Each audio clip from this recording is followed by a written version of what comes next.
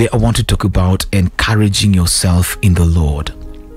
Encouraging yourself in the Lord. The Bible talks about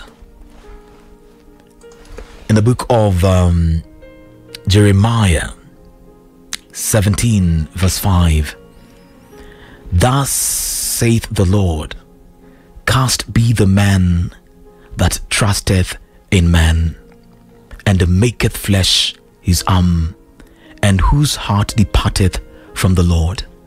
For he shall, the, he shall be like the heath in the desert, and shall not see when good cometh, but shall inhabit the parched, the parched places in the wilderness, in a salt land, and not inhabited. Cast is the man that puts his trust in men. I've come to realize that most of the times we have drifted from trusting in God and in the power of His might. Some of us are very good givers. Some of us have supported many projects out there. Some of us have been out and about. Anytime you hear about somebody that need that needs help, you're there. You're giving. You're giving of yourself. You're giving of your time. You're giving of your finances. You're always giving and giving and giving. And then it comes to a point where you're also at a point of need and you need somebody to support you. You find there's nobody. You expect that because you did something good to people or because you did something to other people, that when it comes to your time, the same, same people will do the same to you. Some of us do what is called social capital. You have invested so much in social capital that you brag in yourself that if anything happens to me, mimi niko na chama mingi, niko na hii chama, niko na hii chama, hata niko na chama ya mazishi, niko na chama ya kufanya hivi na hivi na hivi, and you you have so much confidence in the places, in the things that you have invested in. And the moment you have so much confidence in such things, you find that the place of God starts narrowing it gets narrower and narrower. Then God starts excluding himself from you because you have taken over your life. Yet God wants to take charge over your life. Yes, it might be a good gesture that you're there, you're so philanthropic. But the intention, the reasons behind you doing what you're doing is what the Bible calls praying amiss or doing something to benefit yourself such that when it comes to your time ikifika wakati wako wa kukula so that you can also eat. The bible calls that putting your trust in man. You have trusted upon man that when my time comes then i will get this and this and this. I have supported these children here. I have supported so and so. And i expect that when it comes to my time they will have to support me. You have invested in social capital and forgotten to invest in heavenly capital you have forgotten to invest in your relationship with God. You've concentrated so much on the social being and forgotten the spiritual being. And therefore, when it comes to a point of disappointment, because men will always disappoint. Human beings will always disappoint. Your parents will disappoint you. Your children will disappoint you. The people you've supported, the people you've taken to school, the people you've provided food for, they are the ones who will get the energy and the muscles to even beat you up.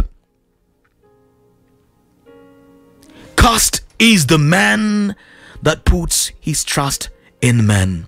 You need to always trust in God.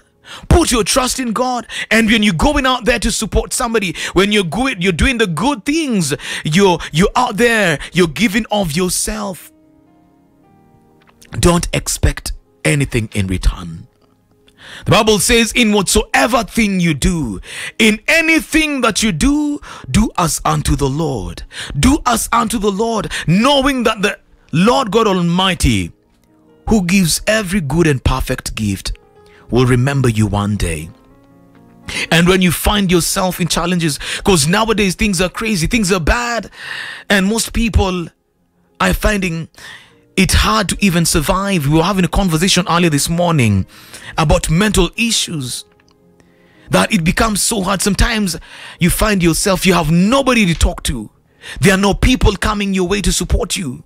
You've done so much out there, but nobody is coming to nobody's coming to your help. Nobody is coming to reach out to you. Nobody is reaching out to you. When others were sick in hospitals, you are there to support them. You went and visited them, but you are there, you are sick, and nobody has even stepped at your doorstep.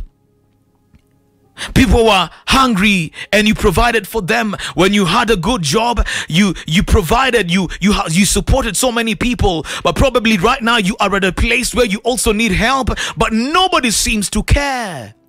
And listen, child of God, that is the nature of man. That is the nature of man. They will always disappoint, but we have God who's always there, the ever present help in times of trouble. The Bible talks about David. And I want to encourage you with this one right here to encourage yourself in the Lord. Always encourage yourself in the Lord because it is only God that can see you through. Amid the pain and anguish, David strengthened himself or literally, he made himself strong, depending on God. In God Himself, he knew that to overcome all obstacles, he had to strengthen himself in the Lord. David drew upon God's empowerment grace, his empowering grace upon himself through prayer. And how did he do it? Through prayer. That is how you encourage yourself in the Lord. That is how you empower yourself in the Lord so that you don't depend on people. You don't depend on the strengths of other people. That is why you find people committing suicide, dying by suicide because they expected there was nowhere they could run to. Their friends are not there for them. Their family is not there for them. Probably their spouse is not there for them. But if you are in the Lord, the Holy Spirit is the ever present helper. He's always gonna be there even when everybody has neglected you, even when everybody else has forsaken you, you can encourage yourself in the Lord.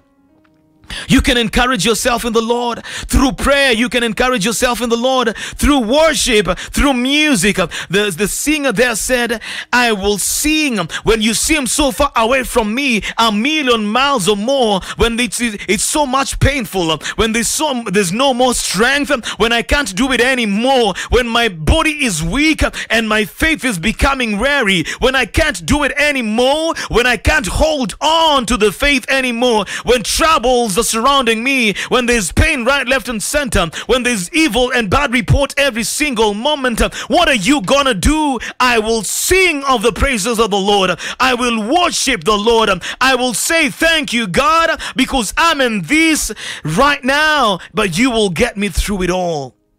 David strengthened himself in the Lord and God's word.